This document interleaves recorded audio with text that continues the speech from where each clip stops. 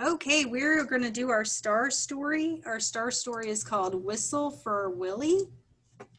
Let me go to this. Okay, um, we read this story yesterday. Let's see if you can remember the title. The title of our story is Whistle for Willie. That's the name of the story. Ezra Jack Keats is the author and illustrator of the story. He wrote the words and drew the pictures. Peter thinks it'll be funny to hide in a carton from Willie. Do you remember this part from yesterday? What is a carton? It's a box. When Peter learns to whistle, he whistles while he runs to the store on an errand. What do you do when you go on an errand? Okay, today when we do the story, um, I'm going to have you pretend to do some different parts in the story. So I'm going to play the reading and then I'm going to pause. I'm going to tell you what I want you to do for each part. Whistle for Willie by Ezra Jack Keats. Oh, how Peter wished he could whistle saw a boy playing with his dog. Whenever the boy whistled, the dog ran straight to him. Peter. Okay, so I want you to pretend and try to whistle. Tried and tried to whistle, but he couldn't. So instead, he began to turn himself around and around and around he whirled, faster and faster. Okay, on this page, without falling down, try to turn around like Peter. When he stopped, everything turned down and up. And up and down and around and around. Peter saw his dog Willie coming. Quick as a wink, he hid in an empty carton lying on the sidewalk. Okay, on this page, you're gonna pretend like you're hiding in a box. Wouldn't it be funny if I whistled, Peter thought? Willie would stop and look all around to see who it was. Peter tried again to whistle, but still he couldn't. So Willie just walked on.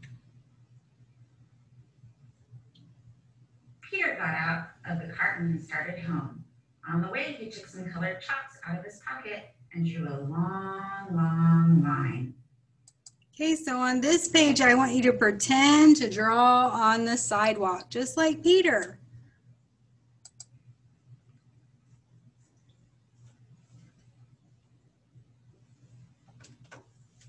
Right up to his door, he stood there and tried to whistle again. He blew till his cheeks were tired, but nothing happened. He went into his house and put on his father's old hat to make himself feel more grown up. He looked into the mirror to practice whistling. Still no whistle. When his mother saw what he was doing, Peter pretended that he was his father. He said, I've come home early today, dear. Is Peter here? Okay, so on this page, you are to pretend like you're uh, Peter pretending to be his father and say, I've come home early today, dear. Is Peter here? His mother answered, Why, no, he's outside with Willie. Well, I'll go out and look for them, said Peter.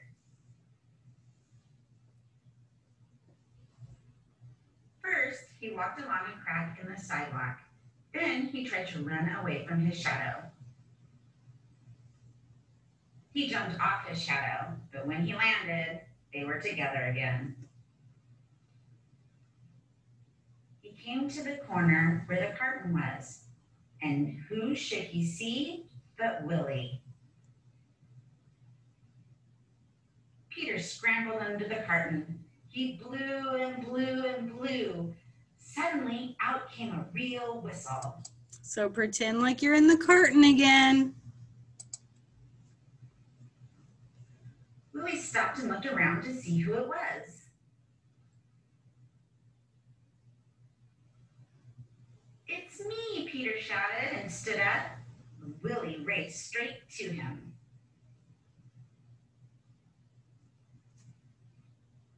Peter ran home to show his father and mother what he could do.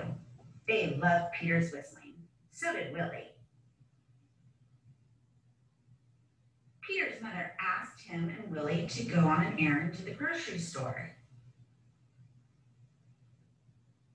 He whistled all the way there and he whistled all the way home. That end. Okay, so think about this. Would you like to be able to whistle like Willie? Why or why not? That's the end of our star story.